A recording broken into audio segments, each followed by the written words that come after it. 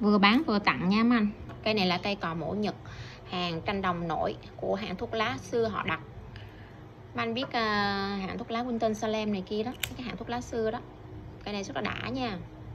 Cây này tranh đồng nổi luôn chứ không phải là sơn. 1 2 3 4 5 6 7 8 9 10 lửa 10 lên 10 luôn. Bật cái nghe tiếng ở bên đây mình ngồi uống cà phê mình bật nghe tiếng cũng thấy sướng rồi ha. Đây kích cỡ so với cái thuốc mình bỏ vô cái thuốc được luôn anh xài rất là tiện ha. Chứ không phải là à, em quay gần cái điện thoại mà anh thấy nó to quá nó không có to đâu anh bỏ vô cái thuốc được rất là là là là tiện sử dụng ha. Rất là đầm tay.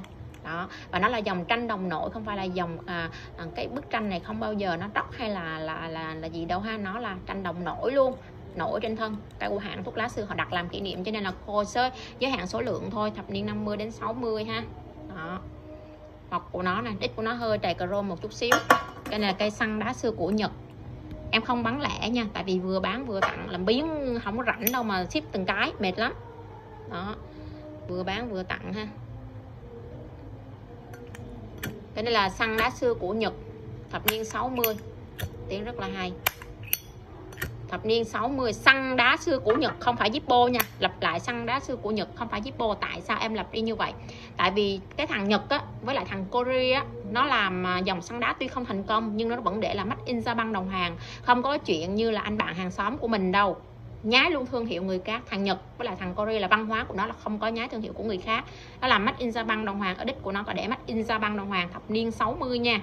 Đó chứ không có chuyện à, không có chuyện là là như anh bạn hàng xóm nhà mình đâu nha. Đó tình trạng của nó nè không có cấn móp gì hết chỉ có hơi trầy chrome một chút xíu thôi nhưng mà còn rất là đẹp phải xước trong trầy ha.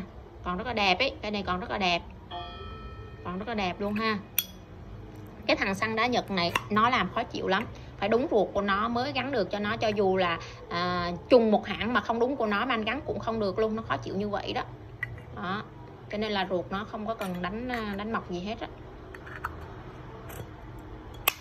Đó. Hai cây 650 hoa, hai cây 650 hoa khỏi cần trả giá, khỏi cần mua lẻ, tại vì nó quá rẻ. Mà anh nó hả bởi anh bỏ số tiền này mà anh không có đủ tiền mà lên mấy web nhật mà anh mua luôn, lên mấy web nhật mà anh không đủ tiền thì ship luôn em nói khẳng định với anh như vậy luôn á. Đừng nói gì là mua mua ấy, em vừa bán vừa tặng đó, không mua hối hận cái này là cây đu bông highlight đu bông hai lỗ đó anh đó. Để em bật tiếng cho mình coi trước ha. Đây. Đó, tiếng đu bông thì nó như vậy thôi. Còn mà mấy anh muốn mà bông bông bông như mấy clip hàng phay thì mấy anh đó, đi tìm hàng phay chơi. Còn hàng ghim là tiếng như vậy thôi ha. Đó, tiếng như vậy thôi. Bật cho anh, anh coi tiếng trước tại vì mình chơi đu bông hai lỗ chủ yếu là chơi tiếng cho nên là bật cho anh coi tiếng trước ha. Rồi cho được coi mông.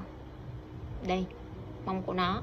À, series của nó một KOA E79 ha logo của nó. Đây logo của nó ở đây. Đó. Đây series của nó cái này đời đời 9x nha.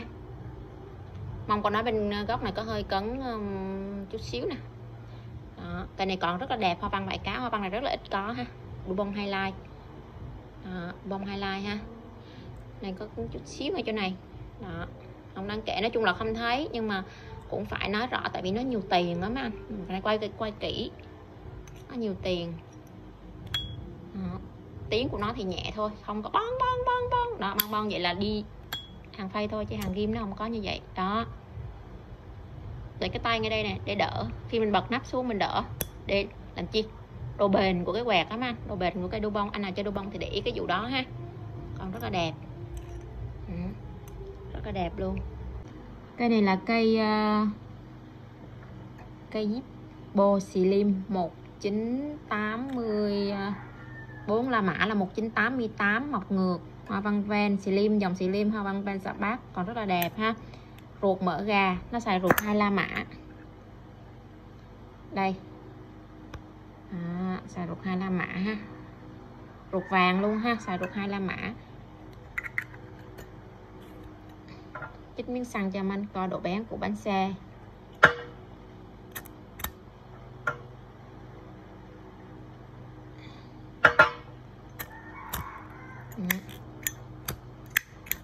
Xì lim nhưng mà tiếng nhẹ ha lửa 10 lên 10 ha. Đó lửa 10 lên 10 là mình biết độ nhạy của bánh xe ha, khỏi cần hỏi bánh xe có bén hay không tại vì bánh xe con bé bật không bao giờ nhảy lửa nha anh. Cho nên là khi người ta đã bật nhảy rồi thì đừng hỏi bánh xe có bé hay không nha. Đó, cho coi bánh xe, coi búa coi lửa gà. Hoa văn ven ha. Còn rất là đẹp. Cây Zippo này là cây Zippo Relipca 1941 Sabat còn rất là đẹp luôn. Relipca 1941 tiếng rất là hay. Vỏ ruột trùng năm nha. Đó. 05 nè. Relipca 1941 vỏ ruột trùng năm. Cây này tiếng hay còn đẹp. Đó tiếng hay ha. Relipca 194105 nha. Hàng hiếm. Đó. Một chín nó nó thì Deep 1941 cái nó làm bánh xe sao chỉ luôn nè. Chặt góc nè. Đó, thấy không? 1941 còn rất là đẹp. Vỏ ruột trùng năm nha tiếng hay. Bô này là cái zip bô này là cái zip bô 1979 hoa văn ven xà bát. Tình trạng còn rất là đẹp. Đó, tình trạng rất là đẹp luôn. Chữ xéo mọc ngược. Đây chữ xéo mọc ngược. À, anh nào biết coi trục xưa thì coi ha. Đây. Một mặt chữ. Hai mặt chữ. Còn nguyên tổng bất bột luôn. Ờ, bánh xe để em chích xăng cho các anh coi độ bén của bánh xe ha.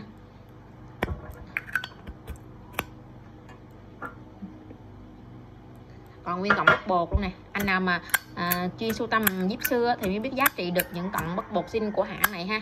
Đó. Bật nhạy như vậy là bánh xe nó bén nha anh. Bật mà không nhạy là bánh xe nó không bén đâu nha anh. Đó.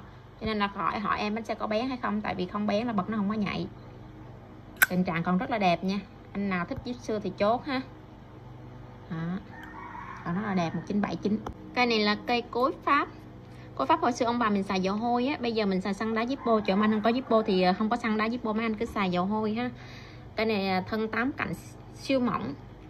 Nó là cây cối thì kích cỡ nó là cây thô cối bình thường thôi. Anh nào mà có tủ uy tí nó cối dầu hôi làm anh biết liền kích cỡ nó là cối dầu hôi bình thường. Nhưng mà thân của nó siêu mỏng ha, tám cạnh nè, nó giác mỏng, tám cạnh này đó, rất là mỏng quay như vậy nên anh dễ thấy ha.